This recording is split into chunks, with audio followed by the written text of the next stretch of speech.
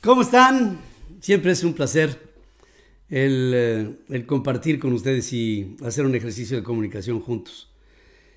Pues este, obviamente pues la, la, tocada ahorita, la tocada ahorita, la tocada son dos cosas. Una es esta intentona de, de la expropiación de un, de un club campestre en Tijuana por el gobernador de Baja California. Y otra, por supuesto, pues tiene que ver con todo lo que está pasando en el Instituto Nacional Electoral. Si quieren empezamos por eso, por lo del Instituto Nacional Electoral. Porque, pues hay, hay, siguen las presiones fuertes a los funcionarios que operan el Instituto Nacional Electoral.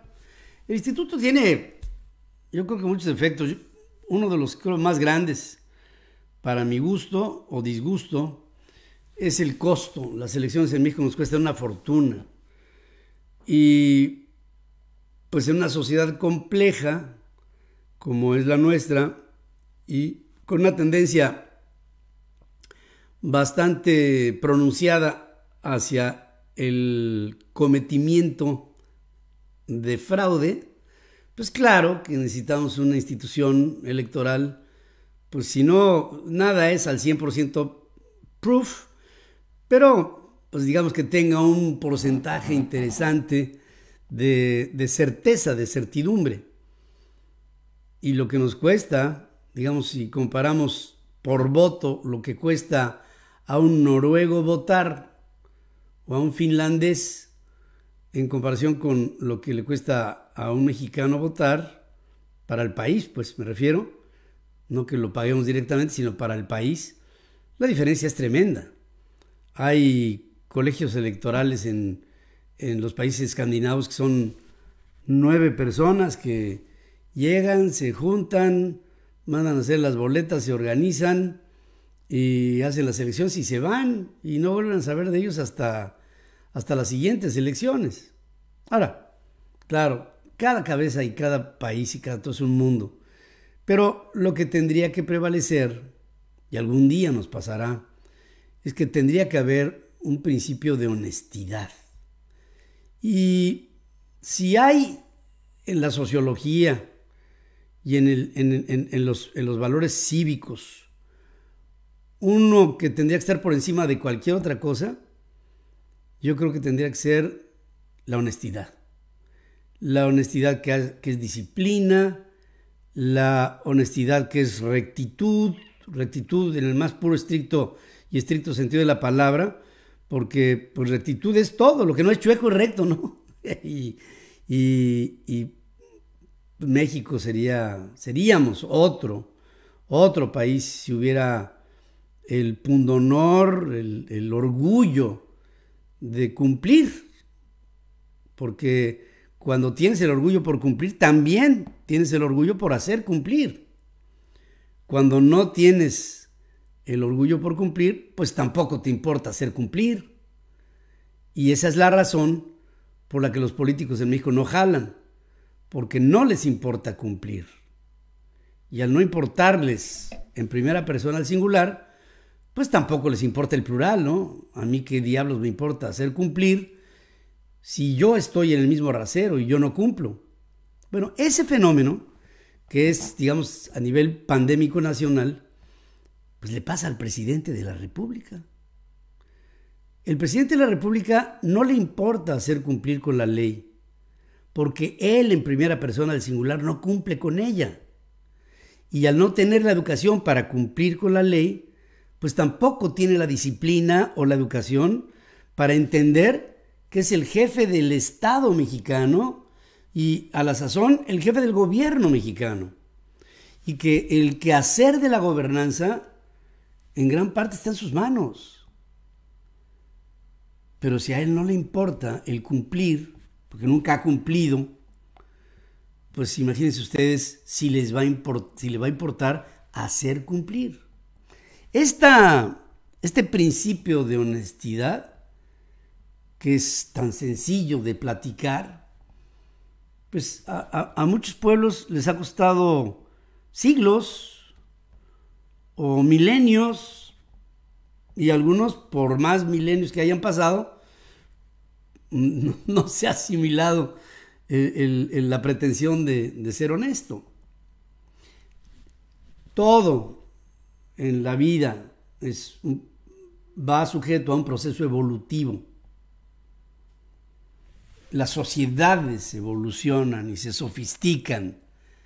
La ciudad, las sociedades van cambiando sus ideas, pero para mejorar. A veces con accidentes históricos, pero siempre con el objetivo ulterior de mejorar. Yo creo, para mí, es uno de los de las, de las máximas del hombre. El hombre, desde que está sobre esta faz de la tierra, ha querido hacer las cosas mejor. Y por supuesto, pues tenemos que luchar contra nuestros propios demonios, porque los traemos, son parte de nuestro genoma, están impresos en nosotros. la ley del menor esfuerzo, la pereza, la violación de las normas, de los principios y de las leyes, si es para mí en lo personal, y si es en lo general, pues vuelvo a lo mismo. Si yo no tengo principios sobre mí, pues qué diablos me va a importar tener principios o hacer que los principios de los demás jalen. No, esto es, esto es como si yo soy ordenado o desordenado. Si yo soy una cosa, ordenado, querré ver todo ordenado. Si a mí me viene valiendo tres puras y dos con sal, pues no veré el desorden, porque no es parte de mí, no lo comparto, no lo no aspiro y al no aspirar pues pierdes un sentido crítico del el orden. México es un país desordenado también. Y entre el desorden, la trampa, la deshonestidad, estamos dando tumbos. A veces avanzamos tantito, en otras retrocedemos. Nada más que entre que avanzamos y retrocedemos, un factor muy importante para ese avance o ese retroceso, pues están nuestros líderes, en la comunicación, en la política, en la sociedad, en la economía, hay en la religión o religiones. Hay líderes que inspiran o que sus propias actitudes deprecian una función. Entonces, ¿por qué lo digo? Bueno, estamos viviendo justamente este yin yang, ¿no? Entre lo que es lo que debiera ser y lo que propiciamos que sea. Y el presidente de México es el peor ejemplo. El presidente Andrés Manuel López Obrador es un hombre que puede ser todo, menos presidente. Y cuando digo todo, me fui de largo, porque hay muchas cosas que no puede ser o que podría haber sido, pero su vida no, no lo llevó por ahí, él no tuvo una educación formal, él tuvo un círculo familiar limitado, acotado, corto, que no le dio alas, pero ese nido no se repartían alas para volar. López Obrador es producto de su entorno pero como su entorno es muy parecido a millones de entornos como el de él, el común denominador de eso entre López Obrador y el pueblo, pues es justamente el no haber tenido una familia mínimamente funcional en términos intelectuales. Y conste que no conozco a la familia del presidente. Pero colijo, intuyo, eh, hago una simple regla de tres y pues, me quedo tieso ante, ante lo que pudo haber sido la, niñez de López Obrador o, o su juventud, o, sus frustraciones, o vete a saber, es un hombre corto, corto, gacho, y pues, todas estas vivencias en las que él ha estado, pues está acostumbrado a que para avanzar tienes que tirar mala onda. Y qué difícil es no hacerlo. ¿eh? Qué, qué complicado resulta conservar el temple, el balance, el equilibrio, la paz interior. Y un hombre como López Obrador, pues no puede vivir más que en la riña, en el conflicto. Y son de esas personas que están acostumbradas a, discutir con su sombra, si es necesario, si no hay nadie.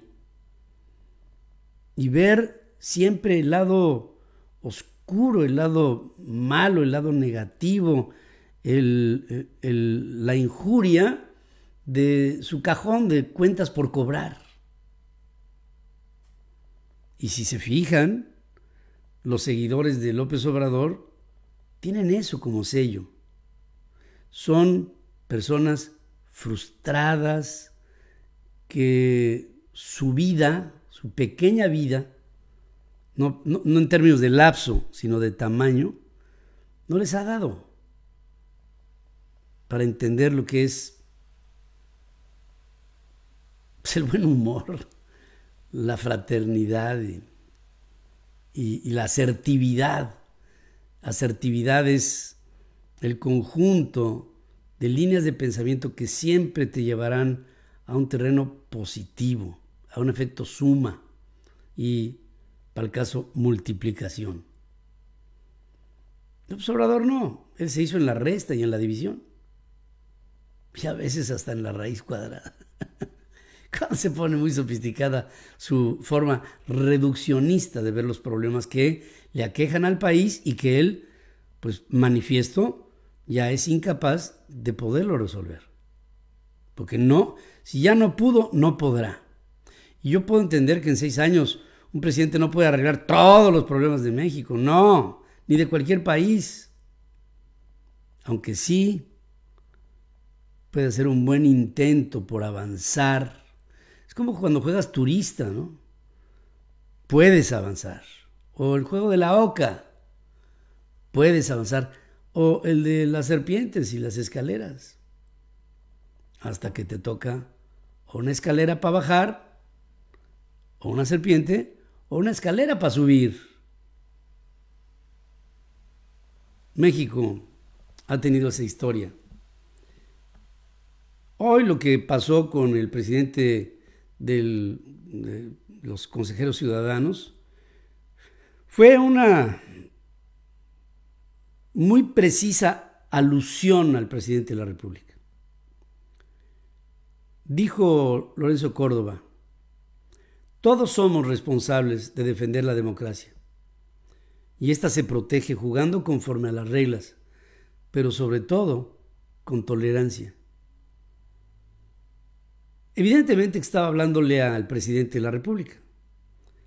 Luego que el Ejecutivo Federal acusó al árbitro electoral de atentar en contra de la democracia cuando le negaba el registro a Félix Salgado Macedonio, su compadre, y a Raúl Morón, no sé qué sean, como candidatos a gobiernos en Guerrero y en Michoacán. Sin embargo, hay quien insiste, dice Córdoba, en el enfrentamiento y el INE no está para patear ningún balón porque no le toca patear ningún balón. No nos corresponde más que vigilar la contienda. Se refiere también a la declaración que hiciera Olga Sánchez Cordero, la secretaria de Gobernación, que aludía cuando se refería al árbitro electoral. Este debe ser discreto y neutral no puede ser indolente o permisivo ante las faltas. El INE no se mete con ningún actor político, dice Lorenzo. Solamente cuida que los actores políticos cumplan con lo que dice la ley. ¿Qué parte de eso es complicado? Pues yo pienso que nada, ¿no? Nada es complicado. Pero, pues este, tuvo que aclarar Lorenzo Córdoba todo esto y dice, la democracia la tenemos que cuidar todos. Si no, se nos puede ir entre las manos. Ahora, yo digo, y perdón el acotamiento personal, se nos puede ir entre las manos o puede propiciarse. No que se vaya entre las manos, sino que nadie la detenga para que se vaya incluso ni siquiera pasar por nuestras manos. ¿Cómo defender la democracia? Actuando conforme a las reglas del juego, apegándonos a sus principios y a sus valores. Ante todo, la reina de la democracia es el valor por la tolerancia que nos permite una convivencia pacífica. Que decía Lorenzo Córdoba, el presidente está alterando la paz. El presidente no ejerce la tolerancia. El presidente no tiene a la democracia como un ente pertinente el presidente no respeta las reglas del juego. El presidente no construye en la colectividad. El presidente no cuida. Nada más ni nada menos. Se lo aventó de cabeza a rabo, sin pasar por los pies. Se lo acabó. Pero con esta cosa, yo creo que yo por eso he tenido tantos problemas en mi vida. Como hablan los políticos, le hablan al éter, al allá en la espiritualidad conceptual del nicho puesto en un altar sobre una deidad que es un ente inacible. ¿Inacible? Pues sí, porque habla en neutral esto debe de ser, esto no debe de ser, esto se debe de cuidar. Entiendo que está hablando como político Lorenzo Córdoba, pero hubiera valido bien la pena que hubiera hablado más claro. Todos somos responsables de defender a la democracia si se protege cuidando las reglas del juego, sobre todo usted, señor presidente. Porque usted es el que pone el ejemplo, porque usted no es tolerante, porque usted piensa que si yo le estoy como institución quitando la oportunidad a dos candidatos de su elección, de su preferencia, de su conveniencia, usted piensa que yo estoy rompiendo con las reglas y me lo debería usted de agradecer porque lo que estoy haciendo es cumplir con ellas. Porque si tanto quiere usted, señor presidente, a sus candidatos, bien hubiera valido la pena que les dijera que aparte de ser sus favoritos, tenían que cumplir con bases legales para ser candidatos. Porque si no cumplen con un mínimo necesario para ser candidatos, señor presidente, imagínese usted a esas personas gobernando. Ya supimos del día de ayer que Félix Salgado Macedonio intentó confundir al INE al decir que él sí había presentado al partido su lista, su listado de gastos de precampaña. 19.871 pesos de gastos de precampaña, ni para un pozole a su equipo de trabajo. Pero no hablan claro y como no hablan claro, entonces pues tengo que despepitar lo que está diciendo Lorenzo Córdoba, porque no se está atreviendo Lorenzo Córdoba a decirle al presidente, usted tiene la culpa. Si en este momento el Instituto Nacional Electoral tiene que asumir una actitud de defensa, es por su culpa. Y le debería de dar vergüenza, presidente, que por su culpa una institución electoral se tambalee. ¿Qué hizo Donald Trump cuando las elecciones del mes de noviembre? Apeló al fraude. ¿Y qué pasó? Lo único que pasó es que devaluó su figura porque las instituciones fueron superiores que él. Hoy Donald Trump ya no es presidente. ¿Por qué? Porque el oprobio de Donald Trump en contra de la institución electoral en los Estados Unidos fue menor a la fortaleza de la institución per se. Y aquí en México, fácilmente el presidente puede superar a una institución electoral porque así se mueve el país. Y el problema más grave que estamos viviendo los mexicanos hoy es que el presidente anticonstitucional por su actitud que tenemos está acabando con todo. Y hoy los intelectuales y la sociedad consciente salen a felicitar a una institución como el INE porque hizo lo que tenía que hacer. Nada más, nada menos, decía el presidente Cedillo una vez que lo felicitaron por algo que hizo y ya no me acuerdo qué es. Yo lo único que hice, dijo el presidente Cedillo, es lo que me decía mi mamá. Hijo, haz lo correcto. A todos nos lo dijo nuestra mamá. Claro, a los que somos conscientes de la educación que mamamos y que otros no tuvieron la oportunidad de que tuvieran una mamá que les hubiera dicho en su momento, hijo, haz lo correcto. Porque no lo tuvo ni José Ramiro, ni lo tuvo Pío, ni lo tuvo López Obrador, ni lo tuvo el hermano que presuntamente mató. Nadie. Y hoy nos gobierna. Con todo esto viene un momento de ajuste de cuentas, porque, porque ahorita les cuento por qué hablo de los ajustes de cuentas. Porque gente como él guarda en un cajón todos los agravios. Les voy a hacer una confesión muy particular. Y perdonen que hable en primera persona. Y pienso que mi edad me permite desahogarlo. Yo he tenido muchos problemas en mi vida personal para las facturas que tengo pendientes de cobrar, llegara el momento en que fueran poco importantes para mí. Porque facturas por cobrar en un cajón acumulan frustración. Y el presidente tiene cajones y cajones y archivos muertos y archivos muertos y más muertos de solamente frustraciones. Por eso su postura presidencial es de revancha. Me hicieron, fui, ahí hubo, allá.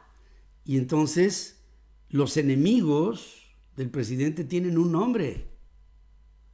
Los conservadores, los fifí, la gente que educó su vida con algo, para él son sus enemigos, aparte de otros bichos que se han colado también, ¿no? Pero el presidente denigra al sector privado, lo persigue, lo aplasta, porque se sabe superior en este momento, ¿eh? en este instante, porque la vida da muchas vueltas. Y yo nada más les digo, de aquí y lo que veo hasta hoy, con esta negativa del Instituto Nacional Electoral, es muy probable, bueno, hay una posibilidad que incluso no hubiera ni elecciones en México. Porque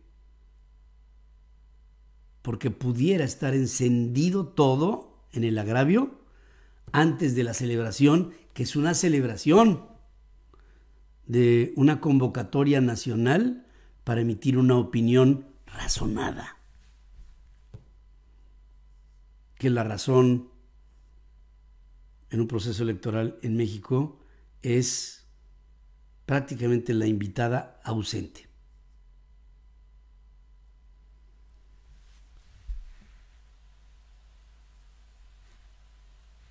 Se puede romper la estabilidad y fácil. Y no quiero saber qué va a pasar cuando el tribunal electoral diga que no a los candidatos preferidos del presidente. Pero también no puedo pensar lo que va a pasar si el tribunal electoral dice que sí a los candidatos del presidente. Para uno o para el otro lado estamos en, un, en una aporía, en un callejón sin salida.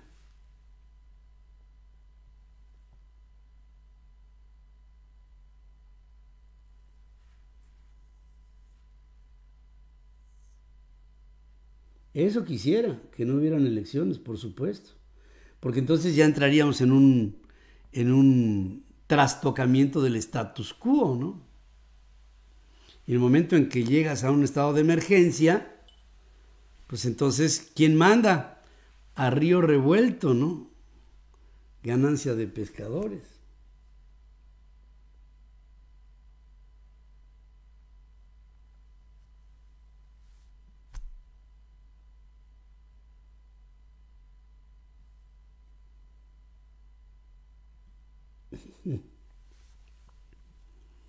Eh,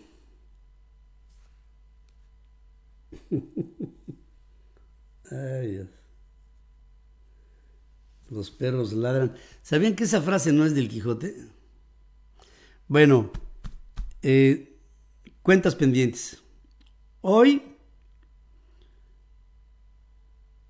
uno de los temas más importantes que se están ventilando en Baja California es la expropiación del Club Campestre de Tijuana. Por, pues es un club de ricos, ¿no? ¿Qué es tan malo? Bueno, vamos a empezar a, a despepitar este tema. Es una propiedad privada. De ricos, de medianos, de pobres, de santos, de diablos, de lo que tú quieras. Es una propiedad privada establecida en una asociación que tiene un consejo de administración, que tiene accionistas y que ha cumplido un desempeño de club por décadas en Tijuana. ¿Quiénes están ahí? Pues gente destacada de la sociedad de Baja California en el club campestre. ¿Es bueno o malo? Pues yo pienso que es bueno que haya un club campestre en una ciudad. Como puede haber un campo deportivo, como puede haber un teatro o un anfiteatro o, una feria.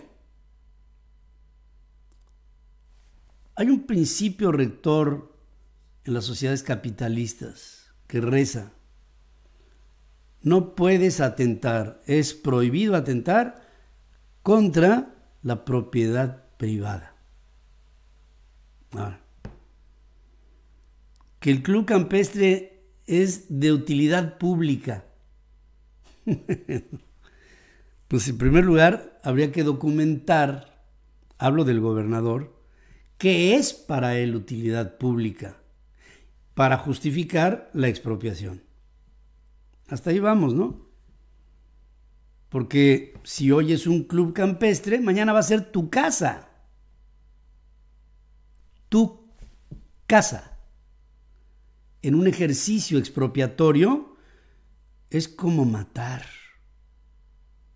Una vez que matas una vez, la segunda es menos complicada. Me lo decía un policía.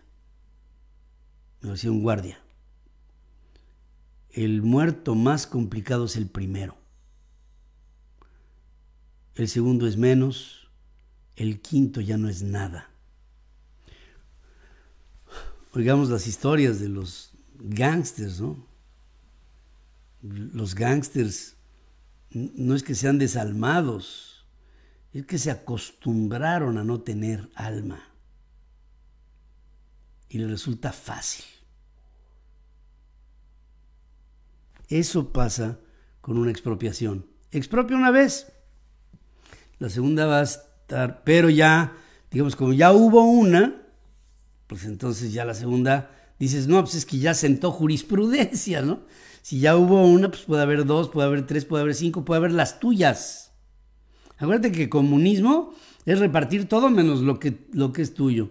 Eso ya no es comunismo, eso ya son... Entonces, el señor Jaime Bonilla quiere expropiar el club campestre. Espero que esté que esté este, viéndome gente de allá de, de Tijuana para que no me dejen decir algo que no sea justo. Por esto, ¿por qué Jaime Bonilla quiere expropiar el club campestre? Bueno, hay una historia. Todo empieza con Jicotencatl Leiva García. Él fue gobernador de Baja California. En el tiempo de Carlos Salinas de Gortari, Jicotencatl Leiva, entre otras cosas, tuvo un hijo que cometió un, un crimen. Habló el presidente, hubo una serie de desprestigios hacia la figura de Jicotencatl Leiva por los manejos tremendamente irregulares de su administración como gobernador de Baja California. Nada más que Jicotencatl Leiva, que lo acabó sacando el presidente, tenía un problema enorme. Era muy chueco el canijo. Y ese problema enorme de chuequez se la administraba en la parte económica Jaime Bonilla. Jaime Bonilla era el lava lava de Jicotencatl. El hombre, Jaime Bonilla, no tiene prestigio entre la sociedad de Baja California, la sociedad. ¿Hasta qué punto? En alguna ocasión Jaime Bonilla, siendo parte de la élite, quiso ser socio del Club Campestre. Y cállate que no lo aceptan por su bajo prestigio. Bueno, el prestigio no es alto, no es bajo, o eso no es, ¿no? Por su, por su imagen por lo que él reflejaba a la sociedad de Tijuana, porque era una persona non grata, no bien vista. Hizo uno, dos, n intentos por ser socio del club campestre. Nunca el consejo lo aceptó, nunca. De hecho, su fiscal es socio del club, tiene algunas acciones, no sé cómo se coló, pero no obstante su compadre el fiscal es socio del club, se le fue al club encima. ¿Por qué? ¿Por qué es de utilidad pública, señor gobernador? ¿Por qué atenta usted en contra de una propiedad privada? ¿Por qué siendo gobernador, que usted debería de proteger los intereses de todos, atenta de una manera unívoca en contra de un enclave privado, desprestigiando la figura de un gobernante que no respeta a un enclave privado. Porque tiene usted un cajón con agravios y está sacando una factura para cobrarle al club campestre con su existencia. ¡Ay, hijos de su mal dormir. Ustedes se acuerdan que en alguna ocasión no me aceptaron. ¿Quién les iba a decir que llegaría yo a ser gobernador? Hoy soy gobernador y te voy a expropiar. porque en su momento no me aceptaste como socio. Fíjense la pequeñez, la estulticia del gobernador de Baja California.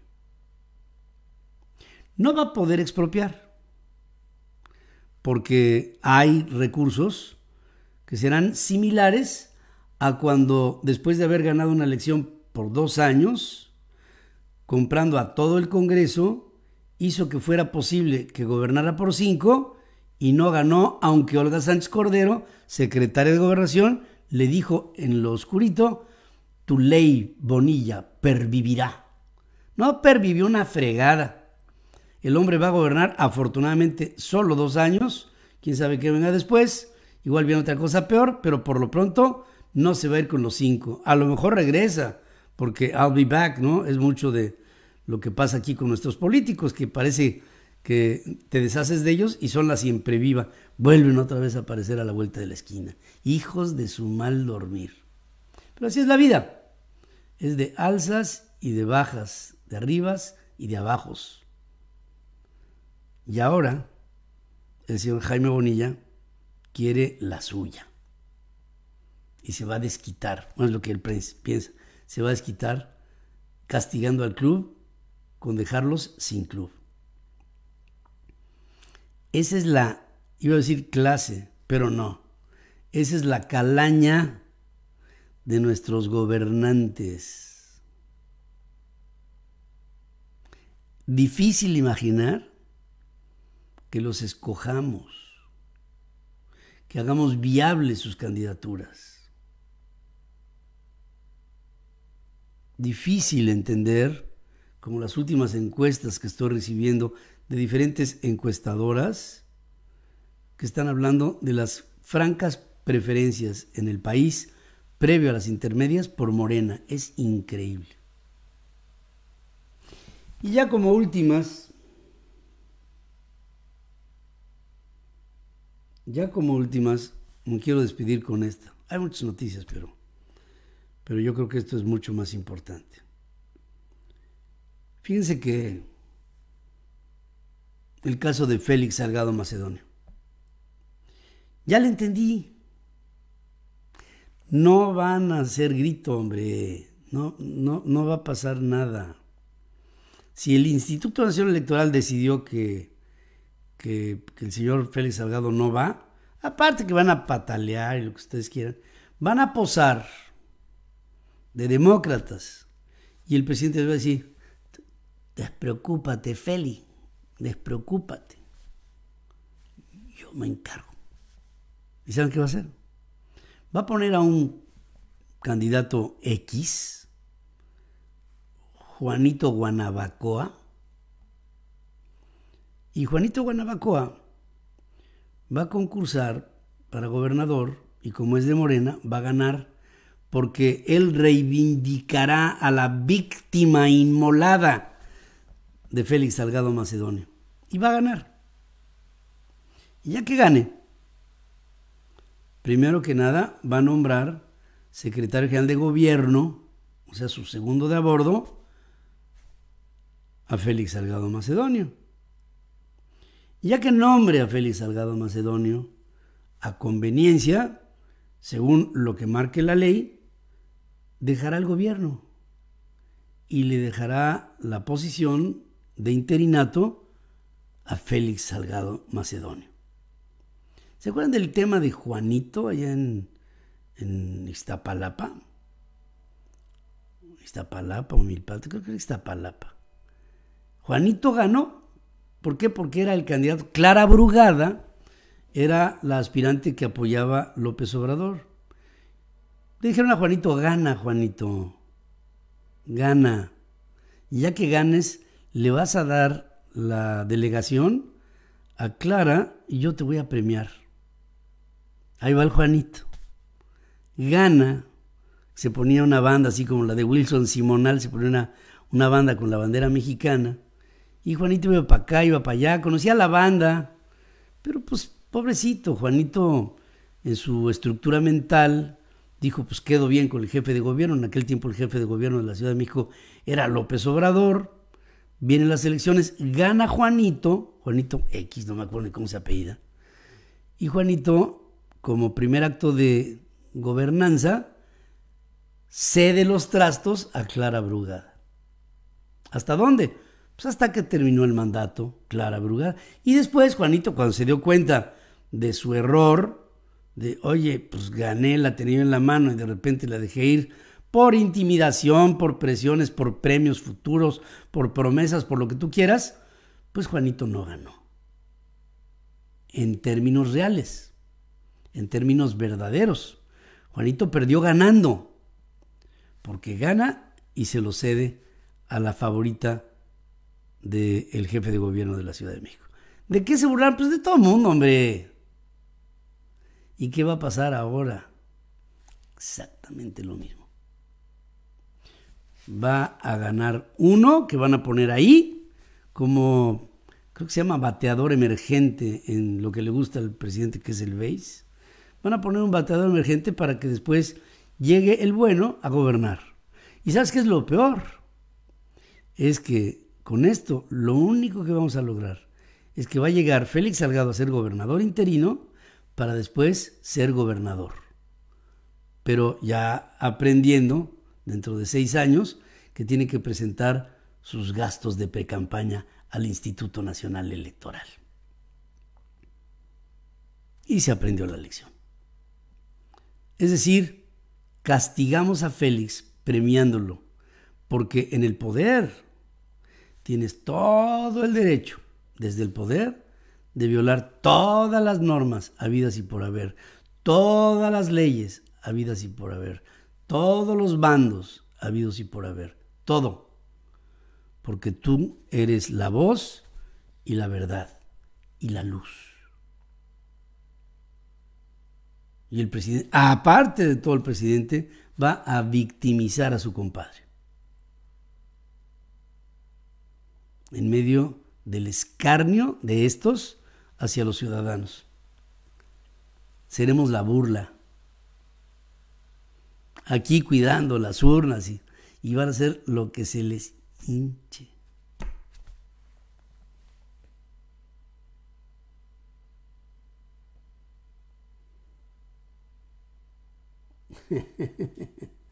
Pedro, ¿qué opinas del trabajo de la Unidad de Inteligencia Financiera, aunque tú estés en la lista? Hombre, pues es la primera noticia que tengo porque no puedo estar en la lista. No puedo estar en la lista porque no he hecho nada ilegal. Eso díselo a alguien que tenga cola que le pisen, a mí no. ¿Y qué pienso de la unidad de inteligencia financiera? Que es el perro del rancho, que sueltan cuando hay bronca a juicio del dueño del rancho y lo amarran cuando hay fiesta. Santiago Nieto es el perro del rancho. Y muestra los dientes y muerde a placer del presidente. ¿Alguna otra cosa más? Bueno.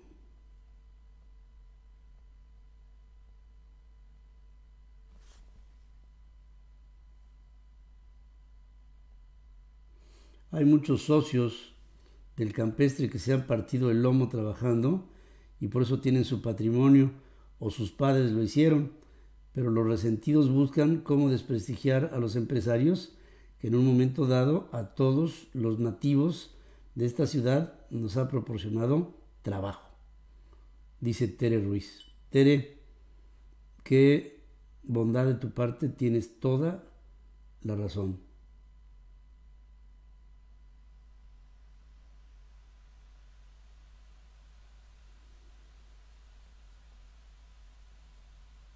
Que si puedo opinar de los candidatos a gobernador por Nuevo León, pues te voy a decir lo que decía en alguna ocasión Rubén Figueroa, que flaca está la caballada, ching. Fíjense que la, el nivel de, de nuestros gobernantes es bien ramplón, pero pues ni modo. Pues así es como estamos, mis queridos amigos. Yo quería abordar con ustedes estos temas que son dignos de llamar nuestra atención y de hacer una reflexión profunda sobre lo que somos y sobre lo que nos han orillado a hacer.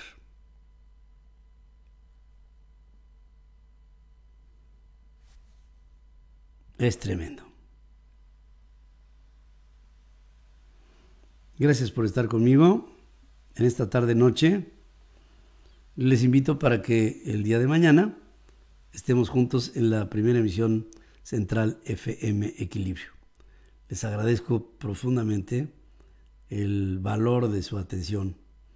A, a, todos los que siguen con interés esta transmisión, ya sea para aportar, ya sea para, espero, entender o aprender algo de, ella, espero, y lo quiero decir sin petulancia, ya sea para atacarme, porque pues yo sé que quienes me atacan viven de esto, y si no fuera yo objeto de ataque, no hubiera yo generado tantos empleos. Y me da muchísimo gusto fomentar el empleo a través de todos los trolls que me, que me, que me avientan porquería y media. Gracias. Gracias por... Ah, Oye, un señor que me dijo, entrando a un súper, que dejara yo de atacar al país. Y me quedo pensando, yo ataco al país. O el país es el presidente. Porque si el presidente es el país, sí ataco al país. Ahora, si el presidente es simplemente el presidente, yo defiendo al país porque ataco al presidente. Porque el presidente ataca al país. Y todo aquel que atente en contra del país es mi enemigo. Ya no mi adversario. Si yo veo a alguien que con un cuchillo atenta en contra de la identidad de México, yo también lo saco. Lo digo de frente. Y gracias por estar aquí conmigo. Hasta mañana.